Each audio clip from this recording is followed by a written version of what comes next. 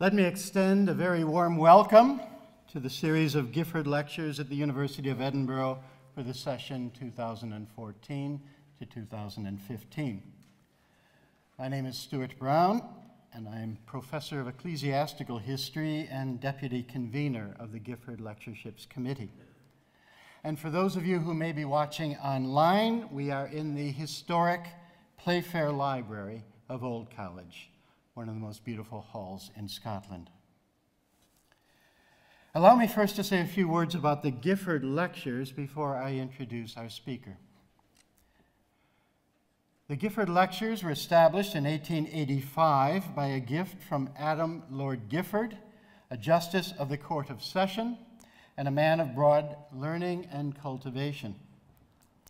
He endowed a series of public lectures at each of the four older Scottish universities, Edinburgh, St. Andrews, Glasgow, and Aberdeen, for, quote, promoting, advancing, teaching, and diffusing the study of natural theology.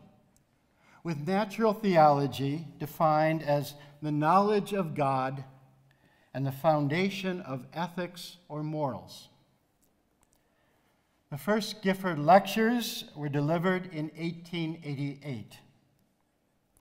And at the University of Edinburgh, our past Gifford lectures have included such luminaries as William James, Henri Bergson, James G. Frazer, Albert Schweitzer, Reinhold Niebuhr, Iris Murdoch, Charles Taylor, and Rowan Williams. Our Gifford lecturer for the session 2014 to 15 is a worthy member of this distinguished company. He is Professor Jeremy Waldron, an internationally renowned scholar of legal and political theory who currently holds the title of University Professor and Professor of Law at New York University School of Law. Jeremy Waldron was born in New Zealand and educated at the University of Otago and at the University of Oxford, where he earned his doctorate in law. He taught at the universities of Otago, Oxford, Edinburgh, the University of California, Berkeley, Princeton, and Columbia before being appointed to a professorship at New York University in 2006. Professor Waldron's work in jurisprudence and political theory is well known and highly respected. His public, published work ranges widely over constitutionalism, democracy, homelessness, judicial review, minority cultural rights, property rights, the rule of law, hate speech, human dignity, and torture.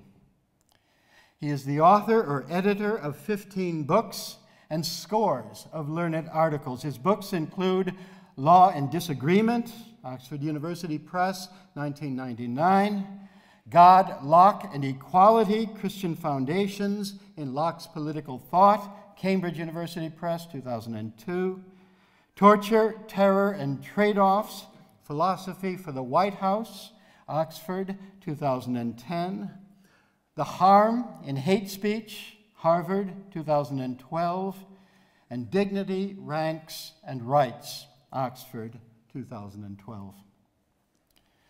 Professor Waldron has lectured widely around the world and has delivered numerous named lectures and lecture series, including the Oliver Wendell Holmes Lectures at Harvard, the Storrs Lectures at Yale, the David Jacobson Lecture at the University, the Hebrew University of Jerusalem. He has been awarded honorary doctorates from the Catholic University of Brussels and the University of Otago. He was elected to the prestigious American Academy of Arts and Sciences in 1998 and was elected a Fellow of the British Academy in 2011. And in 2011, Professor Waldron received the Phillips Prize from the American Philosophical Society for Lifetime Achievement in jurisprudence. Now, Professor Waldron also taught politics for four years at the University of Edinburgh in the 1980s, and he is still very warmly remembered with many of his Edinburgh friends and former colleagues here with us this evening. The title of his Gifford Lectures is One Another's Equals, the Basis of Human Equality. And over the next two weeks, we will have six lectures. The lecture this evening is being recorded, and the video will shortly be available online on the Gifford website. Professor Waldron, could I now invite you to present the first of your Gifford lectures on more than merely equal consideration, the Reverend Hastings Rashdall.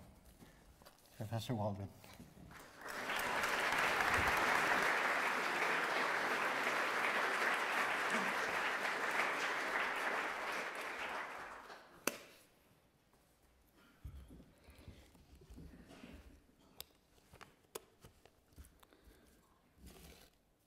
It is wonderful to be here, fabulous to be back in Edinburgh. I was here, as uh, Professor Brown said, from 1983 to 19, the end of 1987. Um, it was a glorious time, one of the happiest times of my life. Um, so it's a huge pleasure to be back in this city and at this university, and a great honor, of course, to be asked to deliver these lectures. I do want to thank the principal and Vice Chancellor for the invitation. I particularly want to thank Anna Conroy and Alistair Lauder for making all of the arrangements, and Zenon Bankowski also, who helped um, uh, organize this in the early stages. It is, it is um, a, a, a wonderful set of people who have helped me figure out the when and the why and the how of these lectures. Now, the topic for the series is one another's equals. My theme is equality, human equality, the sense in which we humans, all of us, despite our differences, are to be regarded as one another's equals. Created equal, as it says in Jefferson's opening oration in the Declaration of Independence. We hold these truths to be self evident that all men are created equal. Or even if not created, and I actually intend to take the creator aspect quite seriously, then we are equal anyway, by nature or perhaps by fixed and fundamental convention. So, human equality, the sense in which we humans, despite all our differences, are to be regarded as one another's equals. It's not going to be, these lectures are not going to be about particular policy positions, like the policy that uh, requires us to try to reduce the amount of economic inequality in the world, the astonishing amount of economic inequality in our communities and in the world at large. Those are tremendously important matters, but I'm going to be trying to address the underlying concern that the people who thus are being treated so badly are nevertheless the equals of those who are treating them in that way. My lectures will be about the equal worth of human beings, their equal worth in the eyes of God, or just their equal worth, if one doesn't want to talk in religious terms. Human worth, we often contrast it with human merit.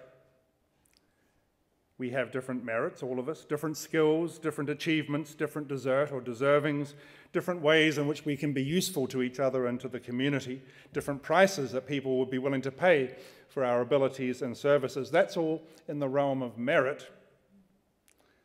I've heard people say that human worth is what is left over when you take merit away, or what is lost when a life is lost and we know nothing about the merit or the character or the achievements of the people who have been killed. There's something to that.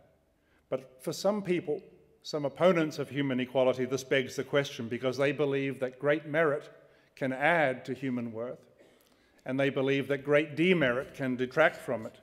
Whereas the idea that I'm going to explore is that human worth is high and independent of the merits or achievements or abilities or deservings of particular individuals.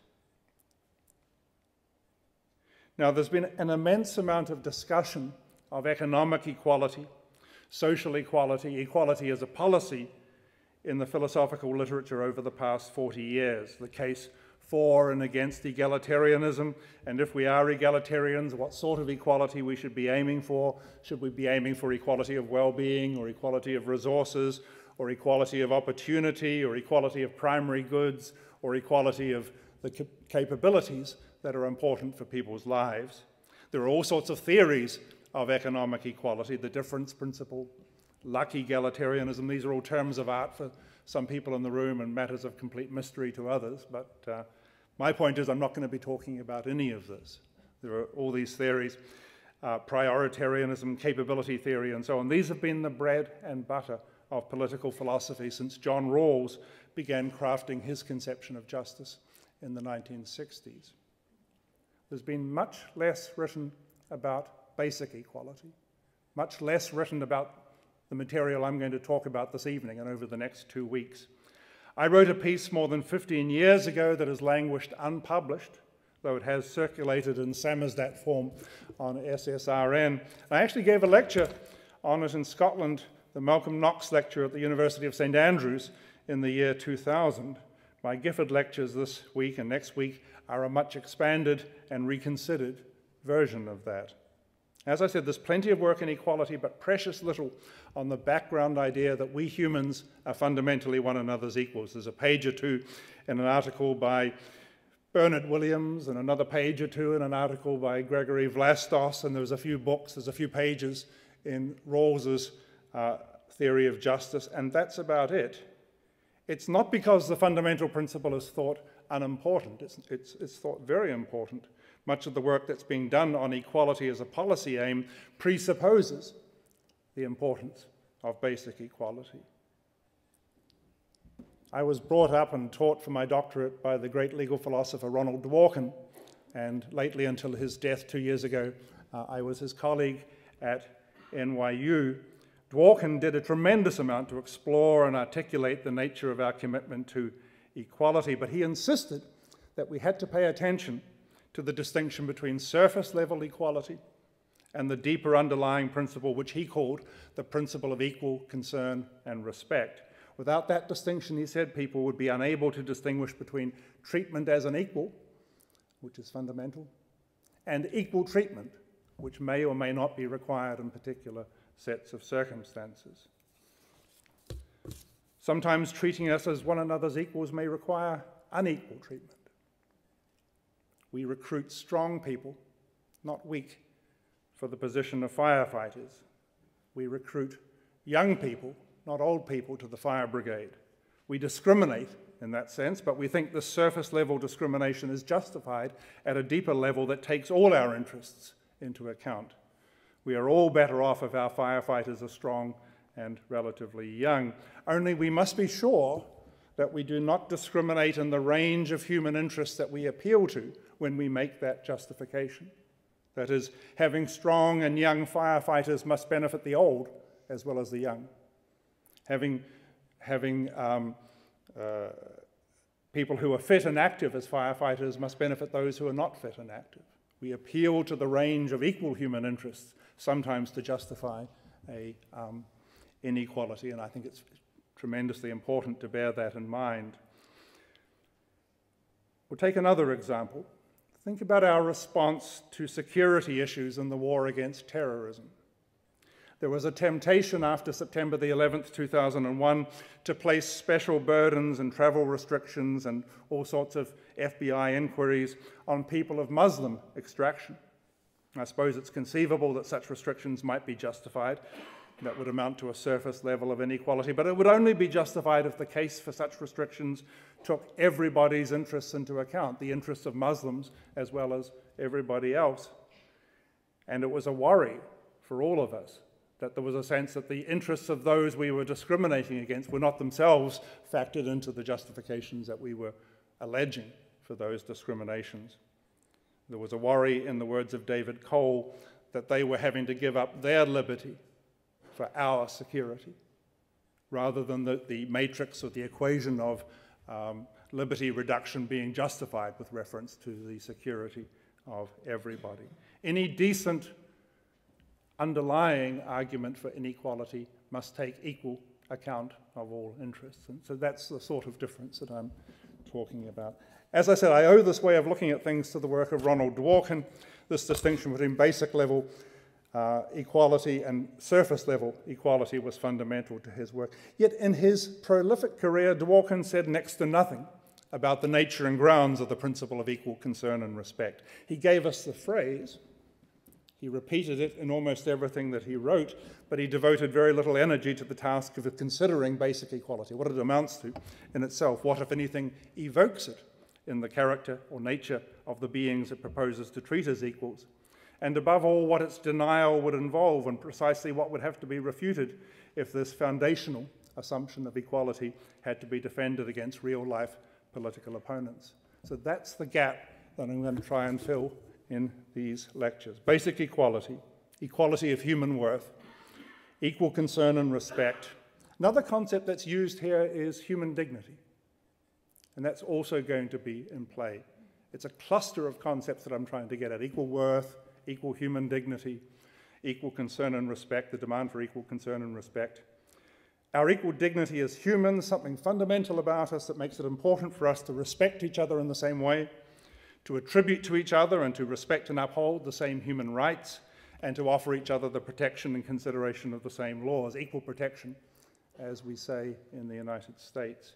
For these are in part legal ideas, not just philosophical ideas, particularly in the way they hook up with constitutional principles like equal protection, equality before the law, anti discrimination law, vindicating the vindication by law of the principle that men and women are one another's equals, or that people of different races and different, different ethnic backgrounds are one another's equals. Now, anti discrimination law pays tribute to that at a deep level as well as at a surface, a surface level. So, and certainly the idea that we have equal fundamental rights, human rights, uh, if you like. We may disagree about what these rights are. We may disagree about whether the Human Rights Act or the European Convention embodies a sensible account of those rights, and we may disagree about what it is to interpret those rights sensibly in court. We disagree about all that, but we still believe that there has to be a range of basic rights that are enjoyed equally by all men and women, human rights, and that is part of again, the package that I'm exploring this evening. These sound like abstruse legal and philosophical ideas. I hope, though, that they will resonate with our ordinary lives as well.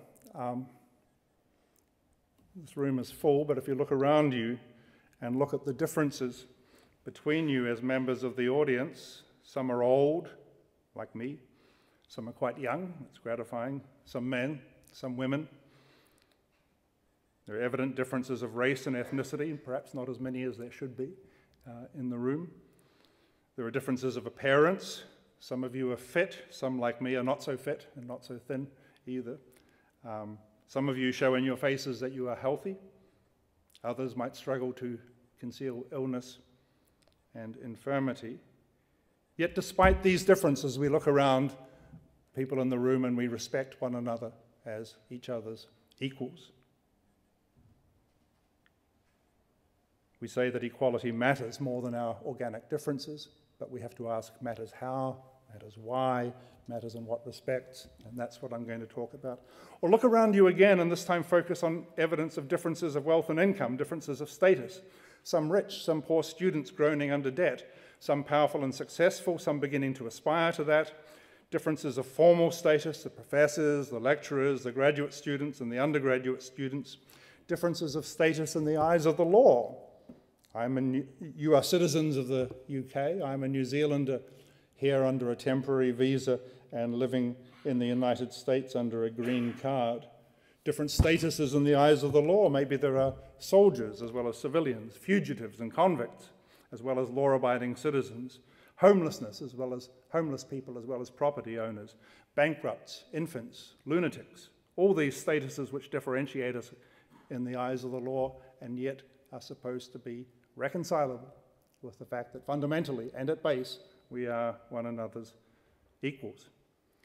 Different statuses reconcilable with the principle that there's just one sort of human being, just one rank of humanity the specific dignity of being human, a high and massively important status that we all bear.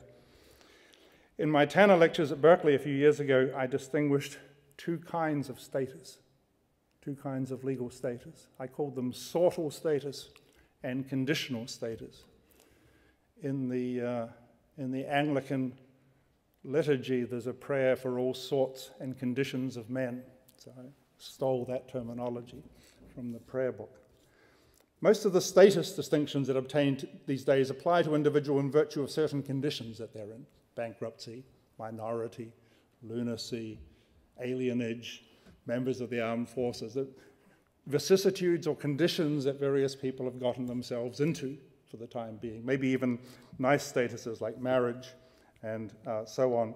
These are, they tell us nothing about the underlying personhood of the person who has them. These are just particular statuses that people may be in because of choices they've made or because of things that have happened to them.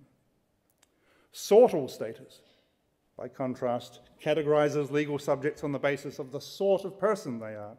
Modern examples are hard to find, and that's a good thing, but historically you can think of villeinage and slavery.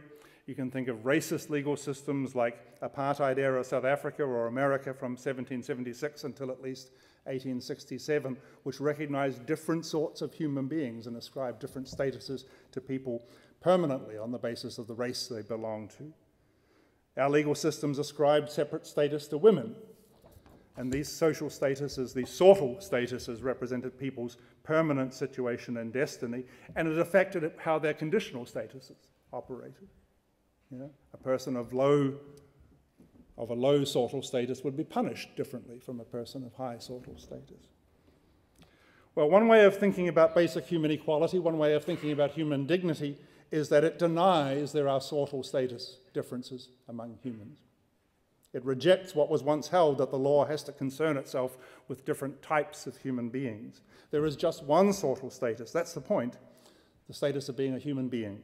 And the principle of basic equality maintains that as a matter of principle and puts it forward as a basis for positive law. To use Gregory Vlastos's term, we are a single status society. We have all the conditional statuses, but we believe fundamentally there is just one sort of human being. So you, there you have it. That's a cluster of ideas that I'm going to talk about.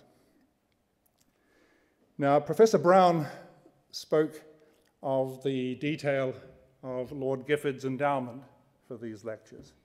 Lord Gifford set up these lectures for the stated purpose of promoting, advancing, teaching, and diffusing the study of natural theology in the widest sense of the term, which is where a lot of Gifford lectures take refuge in the, the breadth of this charge. In other words, he said the knowledge of God, the knowledge of his attributes and nature, and the knowledge of the relations which man and the whole universe bear to him. And Lord Gifford believed that this would take the lectures into the area of values and ethics. And that will happen in this series as well. For in light of this charge, in light of this specification of the responsibilities of the Gifford lecture, lecturer, it would be wrong not to pursue this theme of human equality in a religious context. To speak about the idea that we are all equal in the eyes of God, uh, the idea of basic equality is certainly in that domain. When believers say we are created equal, when people of faith say that we are all children of God created in His image, then they are addressing, from their point of view, exactly the topic that I want to talk about uh, this evening. And I will talk about that as well. I certainly do not want to preclude the possibility of a purely secular account of basic equality, and much of what I say in these lectures, these lectures will have a secular character, although its religious resonance will be pretty obvious. And I believe, by the way, that a religious account of basic equality can actually help illuminate what people want to do when they develop a secular account as well. There can be cross fertilization among these ideas. Lecture 5 in particular, that by my count is Tuesday of next week. Lecture 5 in particular will be devoted to the idea common to the Jewish and Christian traditions that each person's normative equality in her relations with her fellow human beings is supposed to be a reflection of her relation to God, her God given status as the high equal of all other human creatures. I'm not going to be coy or evasive about this in the way that the tradition of modern political liberalism sometimes demands that we should be coy and evasive under the fancied constraints of public reason. I believe that being one another's equals, human dignity, equal worth, these are supposed to be based on what people are really like. And if it is thought, if it is believed, that a theological or theologically informed anthropology gives us our deepest and most serious account of what people are like, what people are really like, and what is most important about them, then we have no choice but to consider that point of view in an inquiry like this. It won't overwhelm our discussion, but it will uh, be the specific topic of Lecture 5. On the other hand, there's a robust, although there's a robust tradition of Jewish and Christian thought on the basis of human equality, I am conscious that people have been known to cite religious equality to the contrary effect as well. Biblical chapter and verse have been cited for racial inequality and slavery. People cite Genesis 9, verses 22 to 7. I'm not saying they cite these or interpret them properly, but they cite them. And gender inequality too, Genesis 3:16, not to mention political hierarchy. People have used religious ideas including some of the religious ideas uh, gestured at by Lord Gifford. People have used those ideas sometimes to validate massive inequality, massive hierarchy, a massive faith in the claim that there are indeed different sorts of human being. It would be wrong to say nothing about that. If we take religious ideas seriously, we must follow them where they lead. We can't rule out the possibility that in the final analysis, appearances to the contrary, the great religions like Christianity, Islam, and Judaism either do not support or rely on or presuppose human equality, or may be simply indifferent to the issue of human equality, or may actually be opposed to the issue of human equality. We have to consider these possibilities, consider what they mean. Not only will I not ignore them, but I want to begin the discussion this evening, which is what one says, and it's already one minute to six. I want to begin the discussion this evening with a particularly egregious example. And this is where our friend, the Reverend Hastings Rashdall, comes into the picture. I want to spend some time in the company of this Christian thinker who seemed strongly opposed to the principle of basic equality, not because his arguments demand an answer from us here right now today, he was writing around 1907, but because his position is clear and in a number of regards it will illuminate what it is that we are in the business of denying when we say we are one another's equals. When we say we are one another's equals, we are asserting something and denying something. One of the things that we're denying is what Reverend Hastings Rashdall says. I hope you won't find the example too offensive. In general philosophy, you sometimes have to pretend to be a weirdo yeah, you have to sort of believe, you have to pretend to believe. I don't know whether the sun will rise tomorrow. I know it's risen every day so far, but that doesn't tell us it's, you, know, you have to go around pretending to be a weirdo, which can be sort of charming and disarming in general philosophy. In moral philosophy, the same attitude means that you sometimes have to pretend to take seriously things which are offensive. Um, you have to pretend to take seriously things that are odd or weird by ordinary moral standards, and that can make philosophy sometimes quite a distasteful and uncomfortable occupation to pursue. We are going to have to appear to take seriously this evening a position that in other contexts would be dismissed out of hand as offensive and wrong. Still, here goes. So, Dr. Hastings Rashdall was a philosopher and an ordained Anglican priest. He was a fellow of New College, Oxford, a pupil of Henry Sidgwick and T.H. Green, and a member of the Christian Social Union. Later on, he was Dean of Carlisle. In 1907, he wrote a two volume book entitled The Theory of Good and Evil, a treatise on moral philosophy, a work of ethical rationalism and ideal utilitarianism, in some ways quite similar to the work of G.E. Moore.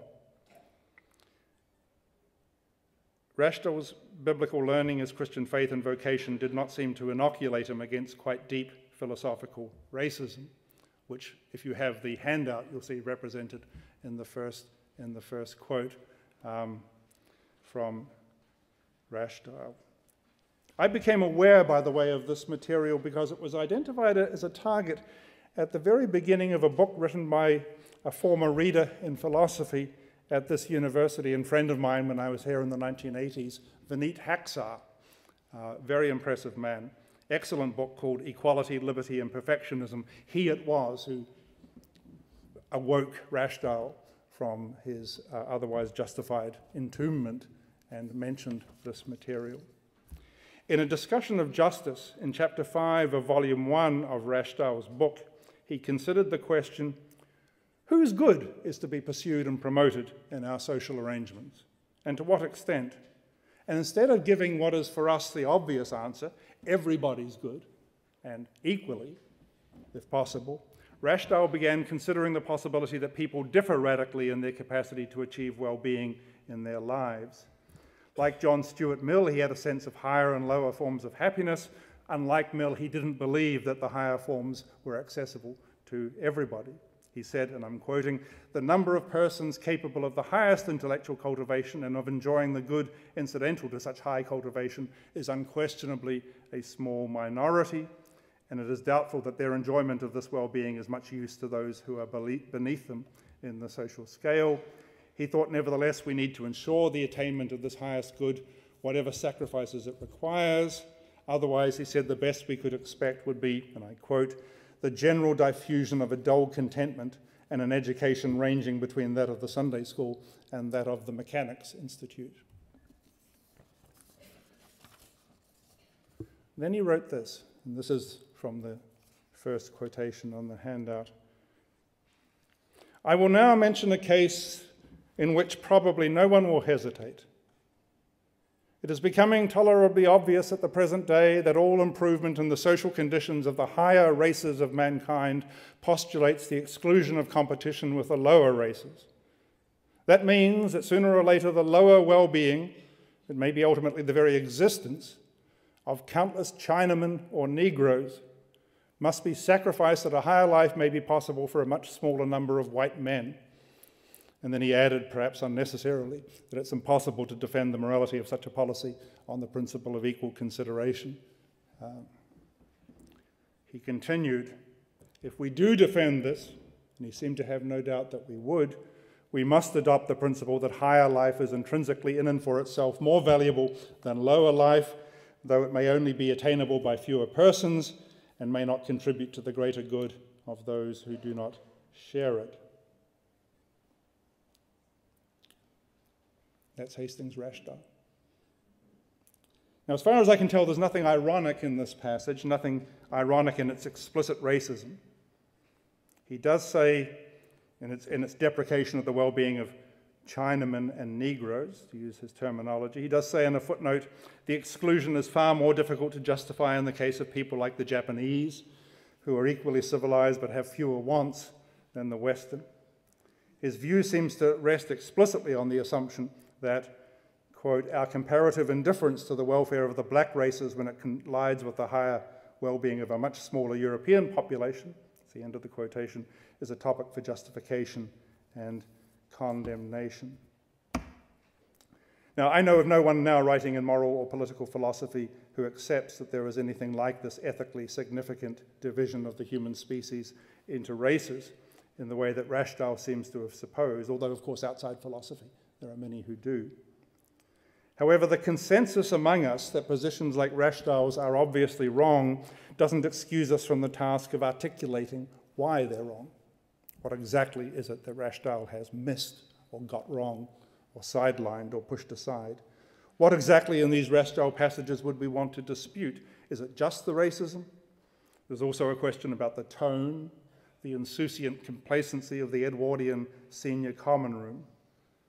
But which of the assertions and which of the differences does he have wrong here? Our disagreement with Rashdall feels fundamental, but is the fundamental dispute about his factual assumptions or the ethical significance of the inferences that he, he draws? It's a question.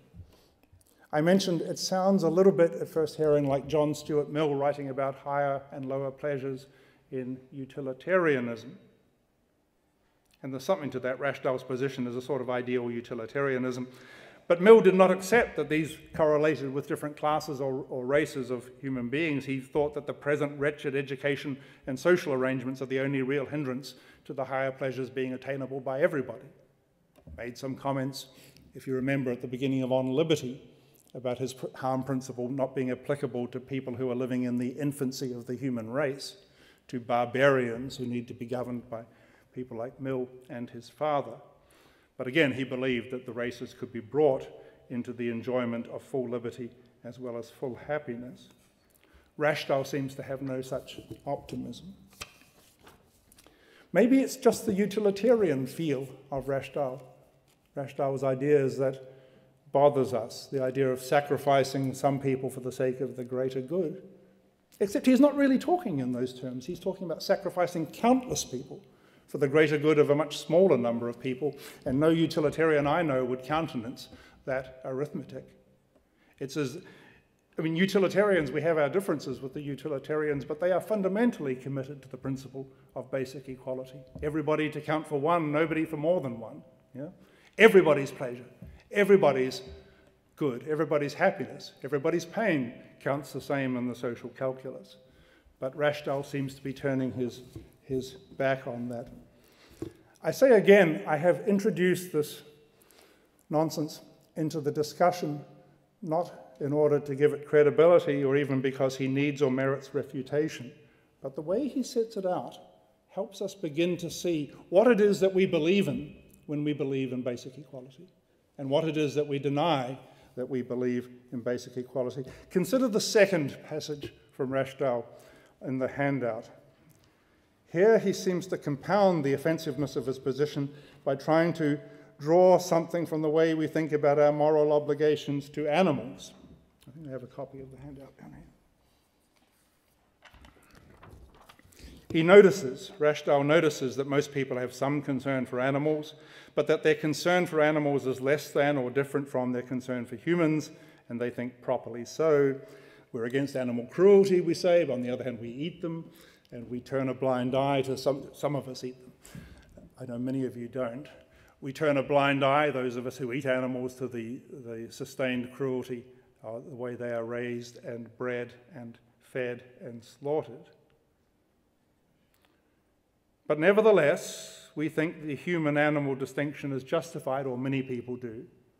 Our moral thought is already characterized by the idea of a big moral discontinuity within the range of mammals. Right? There are mammals, but then there, when you're talking about humans, you're talking about something special. We believe there's a justified distinction, therefore, between the manner in which we think about the well being of humans and the manner in which we think about the welfare of animals. Though we may deplore the suffering of animals when it's made inescapably visible to us, we certainly do not commit ourselves to anything like a general program of the improvement of animal lives, comparable to the programs that even in Edwardian England were being pursued for human beings. So Rashdall asks the embarrassing question, puts us on the spot might there not be divisions within the human realm that are also justified in a similar sort of way? Having established that the pain of animals ought not to be wholly ignored, Rashdall continues, but few people would be disposed to spend money in bringing the lives of fairly well kept London cab horses up to the standard of comfort represented by a sleek brewer's dray horse, in preference to spending that money on the improvement of higher life in human beings. We spend money improving the lives of Londoners, we don't spend money improving the lives of London cab horses. Yeah? He says, the lives of animals cannot thus be lightly treated except upon a principle which involves the admission that the life of one sentient being may be more valuable than the life of another. He's not denying, I don't think, in this that man is raised above the animals. In the first quotation, he's saying that some classes or races of humans are raised above animal, uh, are raised above others. Some classes or races of humans are raised above other classes or races of humans. But he's certainly not arguing that, that humans or any class of humans are like non human animals. He uses the animal analogy simply to show that we are familiar with the idea of less than equal consideration, or some of us are. So, what I draw from that is that we want to oppose the idea with which Rashdall seems to be comfortable that there might be distinctions or differentiations to be made in the human realm that are comparable to the distinctions that some of us make between the human and the non human animal realm. Let me put that again. We are opposed to the idea of discontinuities within the human realm which are analogous to the kind of discontinuity that many people see between the human and the animal realm. I'm not saying when you accept this principle that you're therefore committed to a discontinuity between the human and the animal realm, but you know that people do say this and you know the sort of thing they have in mind, and what you want to say is no such sort of thing applies within, within the, human, the human realm. So there's a possible starting point on something that we want to, we want to pin down, I think. I'm going to distinguish, as it says under topic four on the song sheet, I want to distinguish between continuous and distinctive equality. A principle of continuous equality simply asserts a negative. There are no distinctions of the relevant kind between human and human. Right? The principle of continuous equality simply asserts a negative. There are no distinctions of the relevant kind between human and human. Nothing like the distinctions that some people make between human and animal.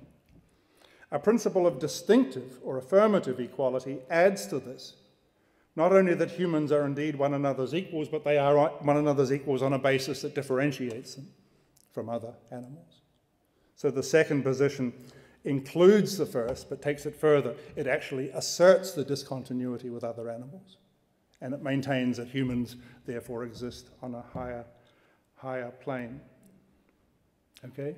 It's going to be important all the way through the discussion because I think those, both of those positions are sometimes associated with human equality. Now, pinning down the meaning of continuous equality, pinning down the meaning of that negative, is of course a bit of a problem because it defines itself by reference to a position that it does not necessarily embrace. There are no distinctions among humans of the kind that some people think exist between humans and animals. Well, what kind of distinctions are those? After all, there certainly are distinctions between humans of various kinds. We certainly do pursue different goods. We do pursue different styles of life. We do think about our lives in different ways. Some people cultivate one set of pleasures, other people cultivate other pleasures. Some people give a great deal of thought to the life they are pursuing. Some of them just sit down and drink beer and watch television and say, This is the life, uh, to quote Ronald Dworkin. Is this a distinction of the sort with which we are concerned? I don't think so.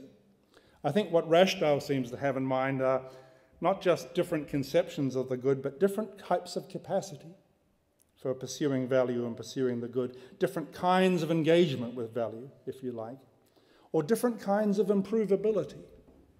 Different kinds of improvability. One of the remarkable things about humans, one of the remarkable things about humans is that there is a massive gap within each human life between what that life is like if the person is just kept warm and well fed, and what that life is like if a person is educated and cared for and initiated into the mysteries of society and so on. There's a massive gap which makes us think that things like education and opportunity and care play an enormous role in human life over and above just feeding people and keeping them warm. If you try and treat your cat or your dog like that, what you'll do mostly is annoy the cat or the dog, right? There isn't the same gap for a cat or a dog between just the virtue of keeping it warm and fed and the highest that the cat or the dog is capable of. So I think there's a huge gap in the case of every human. And I can imagine that Rashdall believes, and he says this, I haven't got time to quote the passage, that this may be true of some human beings and not true of others. This may be true of some kinds of human beings, but not others. For some kinds of human beings, there is a huge, possibly unrealized potential. For other kinds of human beings, once you see them fed and keep them warm, what you see is what you get. Believing in human equality, we deny that position of Rashdall as to that fundamental discontinuity. So we believe, our thought is that there is no Rashdall discontinuity of this kind among humans. This is the continuous equality. Continuous because we say the human range is continuous, it's not punctuated. In lecture six, I will talk about issues about children. In lecture six, I will talk about issues about the profoundly disabled, which I believe are not counterexamples to the anti Rashdall position, but need to be dealt with very carefully and uh, very thoughtfully in relation to everything else. But I need to, I'm leaving this, that to the end because I need everything else in the lectures to fall into place first. So there are no discontinuities of agency, moral agency, affection, mode of relatedness to others, pursuit of value that really characterize the human range and would justify a differentiation of basic worth or basic dignity or basic equality. So that's what I call continuous equality. The stronger position, which I also hold, but others may not, the stronger position is that it's committed to continuous equality among humans and to a great discontinuity between humans and animals. That second position, distinctive equality, is roughly equivalent to what is sometimes said about human dignity. For when we talk about human dignity, we certainly assert a certain equality among human beings, but we attribute to them a very high rank in God's creation.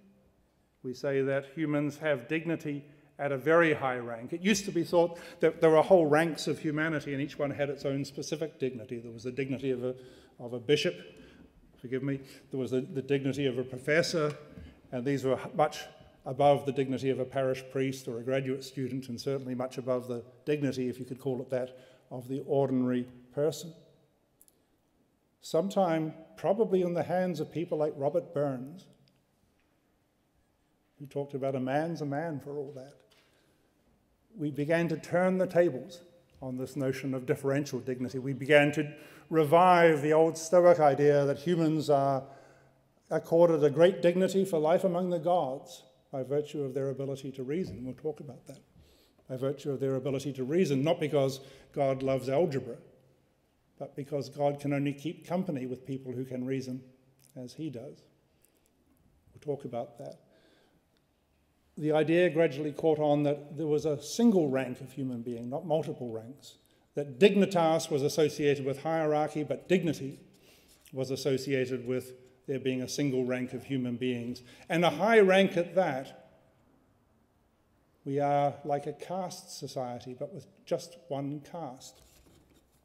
We are like an aristocratic society, but everybody's a duke or everybody's a duchess. Yeah? We have high human dignity, dignity raised above the rest of creation. Uh, not, not differences of fundamental rank among ourselves, but different among the inhabitants of the world. And the idea is there is something that affirmatively important, that affirmatively valuable in the human person as such. So the idea of distinctive equality tends to hook up with human dignity in this way. And I'm going to be exploring both, both positions. Now, what I've talked you through is the starting point and the agenda. Um,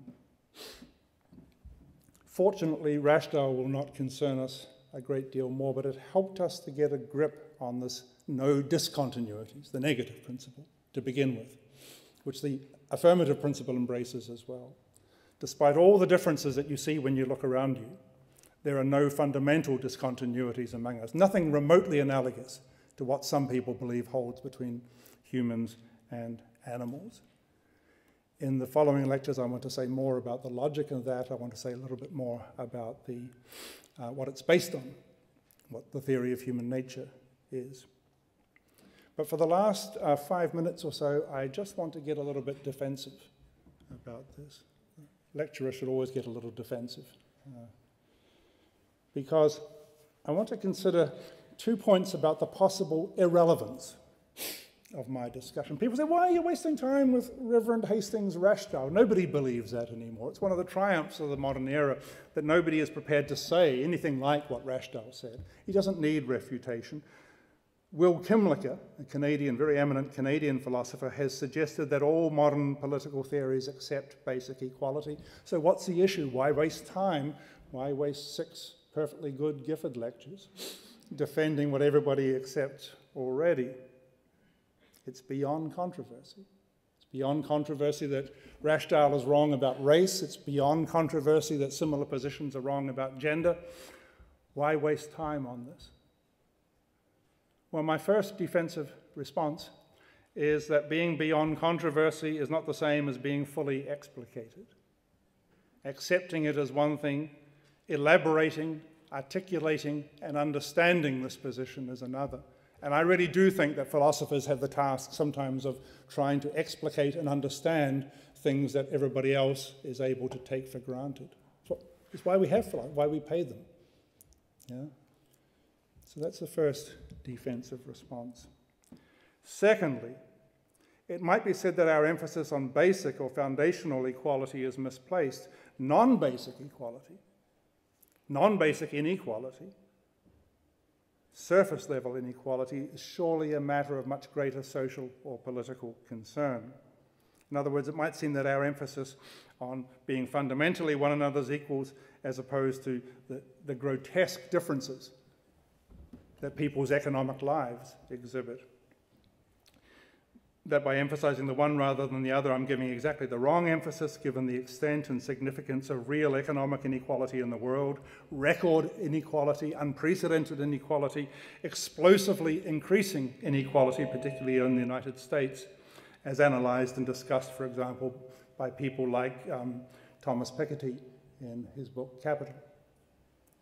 Certainly, the trends that Piketty discusses deserve great attention for all sorts of reasons. As my colleague Tom Nagel puts it, we do live in a world of spiritually sickening economic and social equality.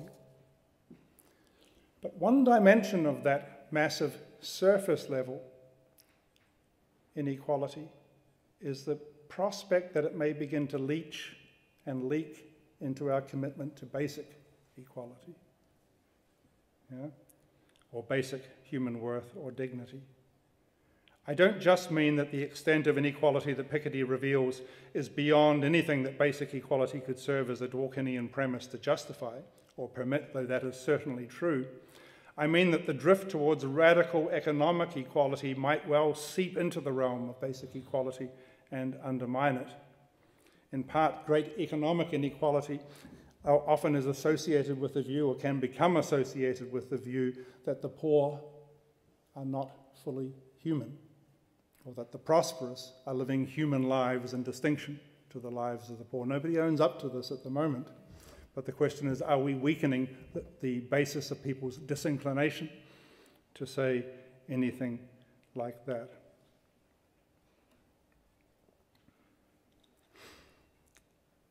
You see, there's a possibility that as class becomes caste, as birth becomes destiny, as economic mobility begins to shrink and diminish, as differences of opportunity start disclosing different kinds of life, then there is a danger, I think, that status differences among humans may begin to re establish themselves. I distinguished earlier between sortal status and conditional status, and I try to hold a bright line between them, but there's a danger that that line might collapse as well.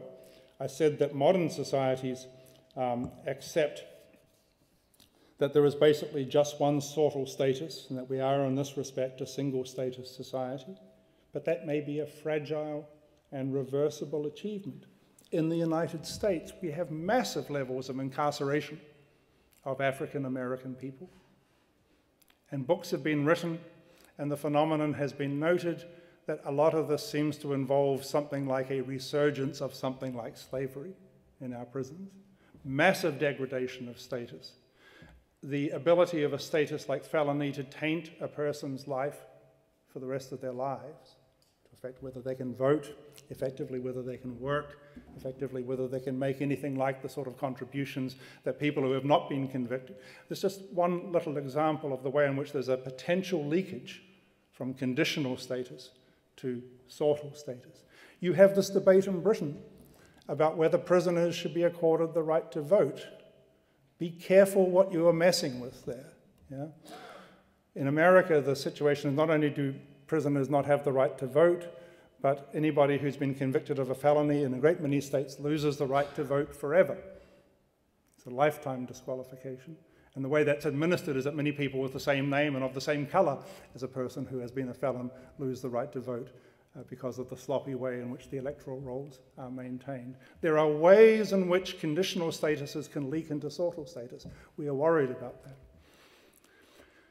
The philosopher Ted Honderich, some of you will remember that name, used to teach in London, wrote a book many, many years ago called Violence for Equality. Let's leave the violence aside, just talk about the facts of equality. He said if you'd look at the lifetime of the priv most privileged 10% of the developed countries and the least privileged 10% of the developing countries, the disparity between lifetimes, something approaching 80 years life expectancy and something approaching 40 years life expectancy, is a sort of disparity that if that was all you knew about the species concerned, you would have to conclude these are two different sorts of species with two different sorts of typical, typical lifetimes. We have to worry about the impact of facts like that on being able to maintain the position that humans are all fundamentally one another's equals. I've used the metaphor of surface level and deep level differences between between human beings. But some of the surface level differences have immediate deep implications, like surface level discrimination.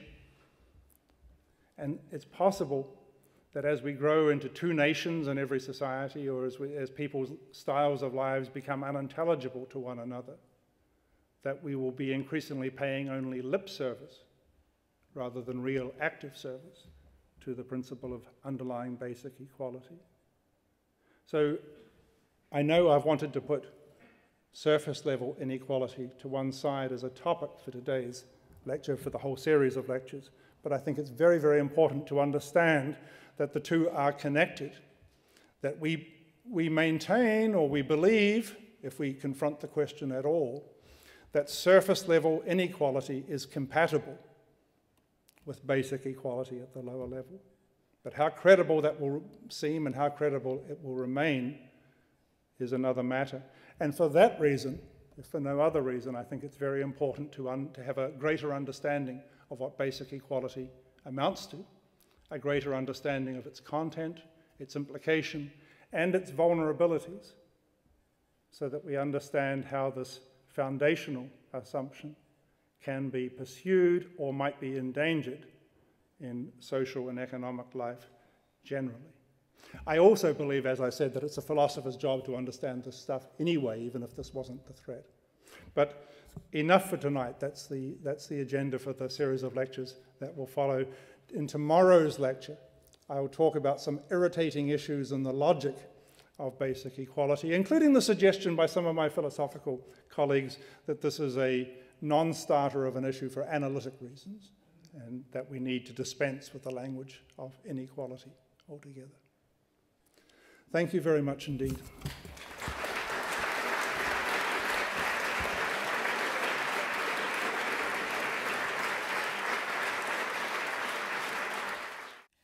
Well, we now have about 10 minutes uh, for discussion from the audience. We have a roving cordless microphone. If you have a question, please, or comment to make, please raise your hand. Up in the front, uh, Professor Hurtado. Um,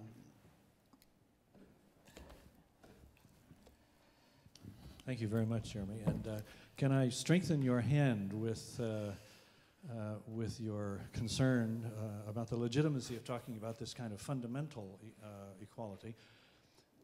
I'd invite you to correct me or speak to it, but, but something like the sort of dis distinction that you ascribe to Rashdall finds, it seems to me at least, a, a functional equivalent in as noble a figure as Aristotle and uh, figures down through the ages who, particularly in the interests of making distinctions often between male and female um, as being almost like different species, but also when it comes to slavery. And I think of Orlando Patterson's uh, classic book, uh, Slavery and Social Freedom, who's basically argued that seems to have been almost the default setting of human thinking, that, that, that um, slaves of various types or people of other nations are a different species and do not deserve the same treatment.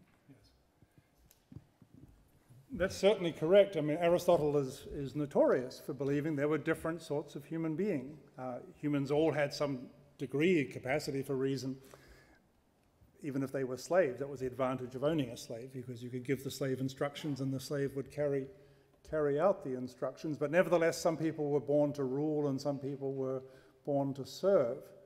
Thomas Hobbes remarks that, well, Aristotle would say that, wouldn't he? He would say that people of great intellect were born to be served, and people whom he fancied having lower intellect than him were born to serve. And certainly that's exactly the sort of discontinuity that we're talking about. Aristotle also believed that women had a certain faculty of reason, but somehow their reasoning was not authoritative in the way that men's were. I don't think Aristotle got out much. Yeah. So there are historically these positions are all over the place, um, and I've been over the last 20 years living and working with thinkers like Thomas Hobbes or John Locke or David Hume who were engaged in actively denying those differences. There were also differences of royalty, differences of nobility that were um, asserted. There was a man called, John, uh, called uh, Robert Filmer, great opponent, royalist opponent, patriarchalist opponent of um, John Locke. And Filmer believed, he believed Aristotle was wrong about natural slaves.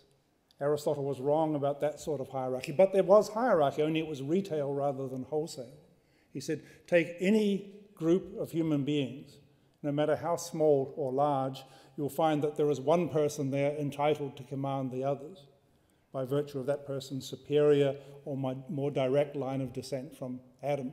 So people have certainly maintained this position.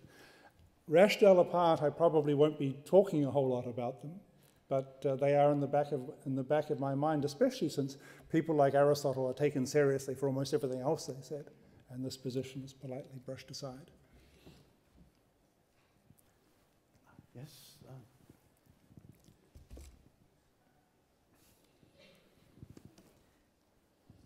Hi, thank you very much. Um, I've got perhaps a facile question, which is you've been talking in this introduction really about differentiations within life as such. And I was thinking about differences between life and non life. So, on a practical level, sometimes it's in some legal systems you can kill people to protect things, and whether things have equal value to non things, if you see what I mean. Yes, yes.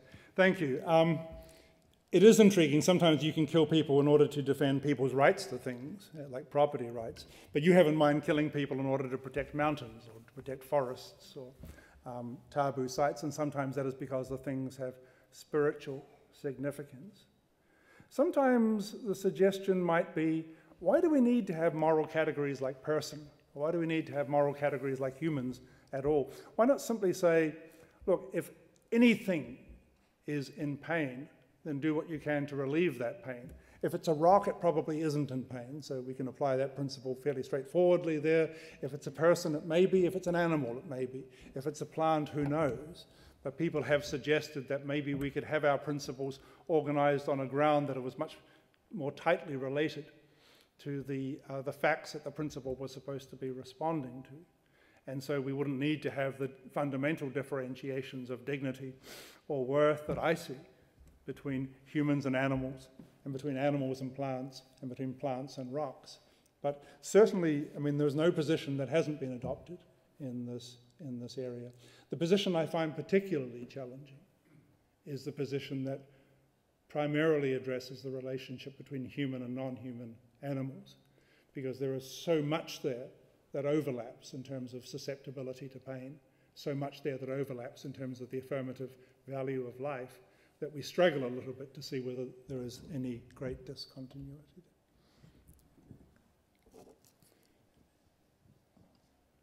Yes, uh, in the far back.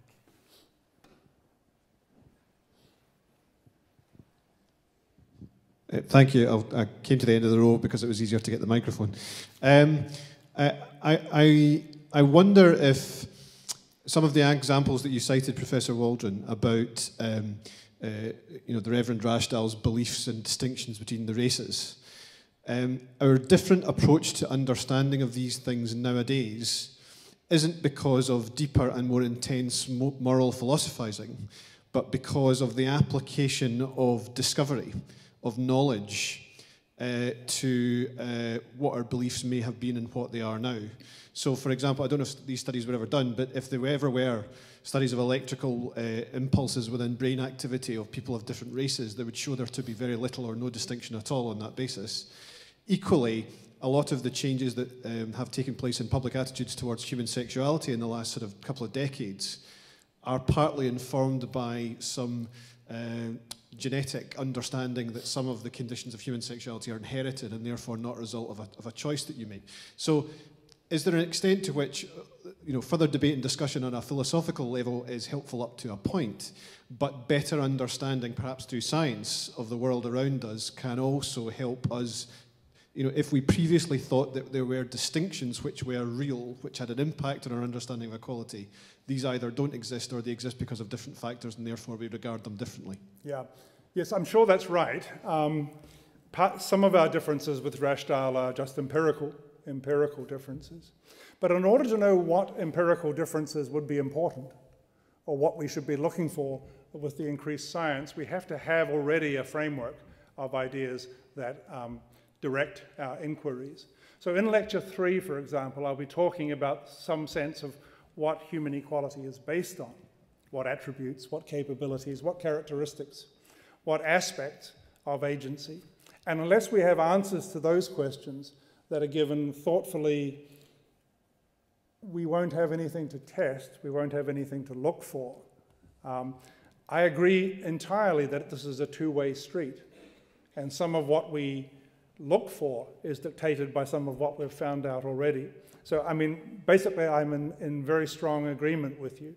But I believe it is important, nevertheless, to try to say as much as we can, not in advance of the science, but in partnership with the science, about what we think the fundamental uh, equality between human beings is based on, and how we propose this is, of course, the issue that I have to confront uh, at the end of this week how we propose to deal with the issue of some differences of degree uh, among humans at the individual level, even if not at the gross level of gender or race. So I, I really do want to accept this, but accept that there has to be uh, interrelation between the philosophical and moral inquiry on the one hand, scientific inquiry on the other.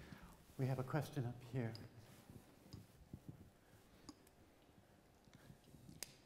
I'm not a historian, but it has always puzzled me that Jefferson uh, was a signatory to the American Constitution, and yet he was an owner of slaves. Will you care to comment, please? Yes. Um, we know that there are varieties and forms of human duplicity and hypocrisy. So we, we have to deploy that first. We have to deploy, secondly, a sense of what Jefferson meant when he said, I tremble, not just for my country, but I myself tremble when I consider that God is just. Right? So that one can own slaves and be aware that that ownership is a disgrace. Um, so people can be in that position and they can exhibit that conviction with more or less good faith. There was, I mean, some people say, well, he must have meant something different by all men. Maybe he meant all men rather than women or maybe he meant all white men. There's nothing to warrant that suggestion. Patently, he meant all human beings are created equal. He was just in a situation where that was morally uncomfortable for him. So, what I would do, I think, is not flinch from the fact that the slave owner was saying all men are created equal, but there was the same slave owner who was saying of his ownership of slaves, I tremble when I think that God is just and if you wonder about the disparity between them, look around you and wonder about the forms of hypocrisy that we manage on many things, including, for, for example, the treatment of animals, uh, for instance. So if there's some possibility of facing these incompatible facts unflinchingly, I think this would be better. Yes, in the, in the front.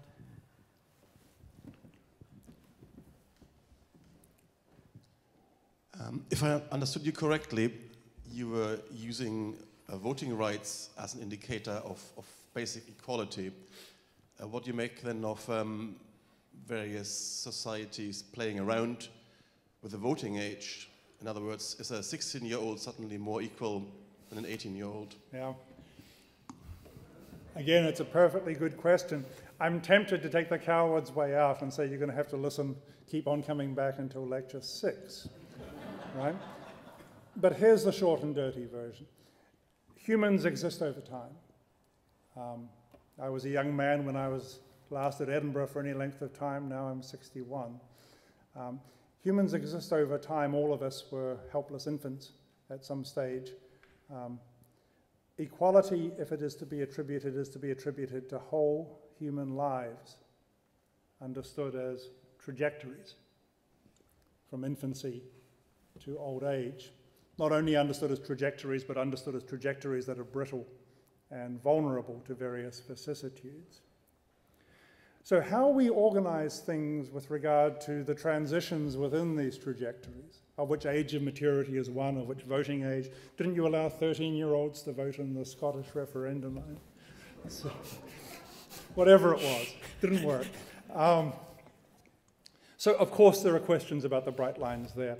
My comments about voting rights were not intended to suggest that this was an immediate um, offspring of basic equality, though I think that basic equality partly connotes, when we're talking about equal respect, equal respect for the fundamental authority of each individual. Each individual has views, they have a life to lead, and they have views about that life and views about the society in which they live in. They have a sense of justice. We need to respect that in the political system arrangements that we make. Now, how we respect it will be partly a matter of uh, distributing the vote over these lifetimes and we will say of somebody during their lives that they have not been treated as equals because they were never given the right to vote. We might say of somebody that they have not been treated as an equal because the right to vote was postponed unconscionably long, either by the system of some particular case. All of this can be said, for example, of African Americans uh, in the United States. Uh, can be said of women uh, to, to a great extent. And we might be talking about other ways in which the right to vote was denied, which rested not on particular hypotheses about how to draw bright lines for administrative purposes, but on the suspicion that, that something more malign was in operation, thinking that some people were not one another's equals. But whatever we say about that, we're going to have to come to terms with, with that what we are attributing basic human dignity to and basic human worth to is the trajectory of a whole human life. Yeah? And then we have to figure out what the consequences are of taking that three-dimensional uh, perspective, four-dimensional, forgive me, four, four-dimensional perspective. I think we... I think we may draw things to a close for this evening.